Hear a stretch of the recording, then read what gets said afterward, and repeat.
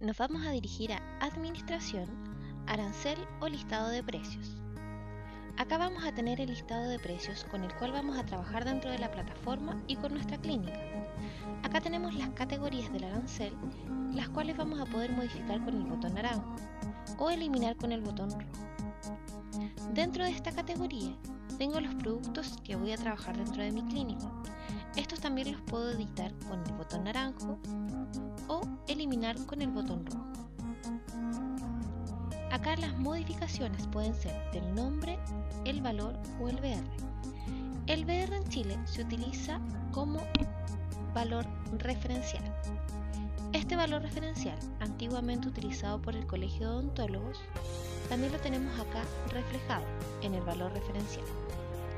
Si yo realizo alguna modificación en este valor referencial, mis acciones clínicas, las cuales estén asociadas con un número como BR, se van a ver modificadas. A diferencia, si mi BR está en cero, si yo modifico el valor referencial, estas no se van a modificar. Además acá puedo agregar algún nuevo producto que voy a trabajar dentro de esta categoría. Volvamos al arancel base.